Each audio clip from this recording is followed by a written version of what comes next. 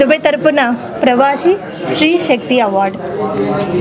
Dubai తరపున award నేను అందుకున్నానండి. I'm really thankful to them ఇవన్నీ ఏంటంటే ఒక ఉగాది పురస్కారం స్టేట్ గవర్నమెంట్ నుంచి అందుకున్నా కూడా ఎవరైనా మళ్ళీ ఇంకొకసారి శభాషణ భుజం తడుతున్నారు అంటే will feel proud and no will get more energy to work more hard Andhra Pradesh non residential Telugus ఒక సొసైటీగా మన చంద్రబాబు నాయుడు గారు సీఎం గారు స్టార్ట్ చేయడం జరిగింది. దానికి అడ్వైజర్గా సీఈఓగా డాక్టర్ వేమూరి గారు వేమూరి రవి గారిని అపాయింట్ చేశారండి. And is NRA minister Palle రఘునారెడ్డి గారు is in-charge for this. So వారి ఉద్దేశం ఏంటంటే ఒక్కొక్క దేశం నుండి అమెరికా నుండి యూరప్ కంట్రీస్ నుండి గల్ఫ్ కంట్రీస్ నుంచి ప్రొవిజనల్ కోఆర్డినేటర్స్ కోఆర్డినేటర్స్ని అపాయింట్ చేసి వారి సహాయంతో ఈ స్మార్ట్ విలేజ్ డెవలప్మెంట్ కానీ ఒక డేటా కలెక్షన్ కానీ మరియు ఎటువంటి ఇన్వెస్టర్స్ సపోర్ట్ కానీ స్మాల్ స్కేల్ ఇండస్ట్రీస్ ఇటువంటివి ఏం చేయాలన్నా కూడా వీరు కోఆర్డినేటర్స్గా గవర్నమెంట్కి సహకరించే విధంగా ఆ దేశాల్లో పనిచేయాలనేది వారి ముఖ్య ఉద్దేశం అండి.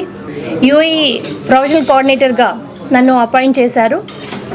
అండ్ ఇంకొంచెం బాధ్యతలు అంటే చట్ట ప్రకారం ఆంధ్రప్రదేశ్ గవర్నమెంట్కి నేను చేయడానికి నాకు అవకాశం దొరికిందండి.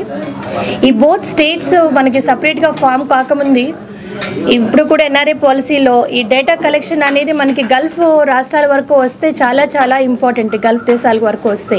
నవంబర్ ఫోర్టీన్త్న వస్తోందండి తెలుగు పాఠశాల స్టార్ట్ అయింది.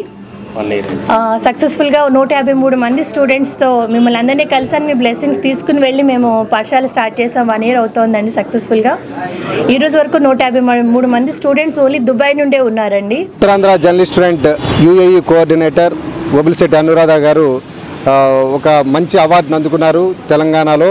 అది ప్రవాసీ శ్రీశక్తి అవార్డు అక్టోబర్ రెండవ తేదీన ఆవిడ అనుకున్న సందర్భంలో విశాఖ విశాఖ నగరంలో పాత్రికేయులతో కాసేపు ముచ్చరించడానికి వచ్చారు. ముఖ్యంగా ఆవిడ రాష్ట్ర ప్రభుత్వం తరపున ఆంధ్రప్రదేశ్ రాష్ట్ర ప్రభుత్వం తరపున యూఏఈ కోఆర్డినేటర్గా కూడా వ్యవహరిస్తున్నారు.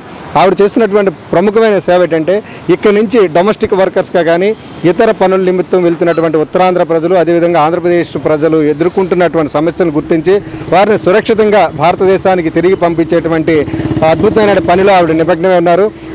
దానికి గుర్తించినటువంటి ఆంధ్రప్రదేశ్ ప్రభుత్వం ఆవిడని కోఆర్డినేటర్గా నియమించడం తర్వాత ప్రవాసశ్రీ అవార్డు రావడం కూడా చాలా గర్వకారణం.